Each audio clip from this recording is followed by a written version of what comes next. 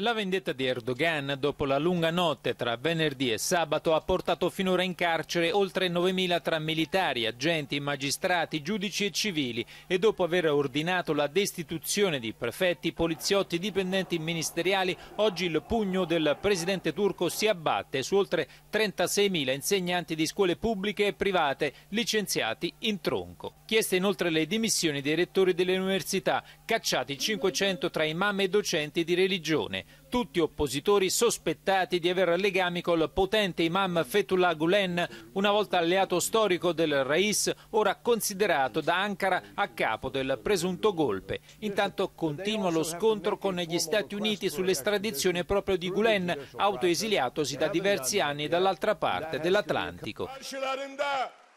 Il governo turco ha preparato quattro dossier che proverebbero le responsabilità del ricco leader sunnita.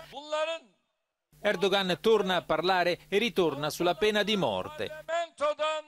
La pena di morte, sottolinea, c'è negli Stati Uniti, in Russia, in Cina e in diversi paesi nel mondo, solo in Europa non c'è. In Turchia era stata eliminata, ma non ci sono statuti irrevocabili, ammonisce il presidente turco, informato dai servizi segreti della possibilità di un golpe alcune ore prima. Domani si riunirà il Consiglio di sicurezza nazionale. Poco fa i social hanno diffuso foto di una densa colonna di fumo nella capitale turca. Secondo il quotidiano liberale Hurriyet si tratterebbe di un incendio in un palazzo e non di un attentato. La tensione è comunque altissima nel paese. La sensazione è che in Turchia la situazione sia molto più incerta di quanto dichiari il governo.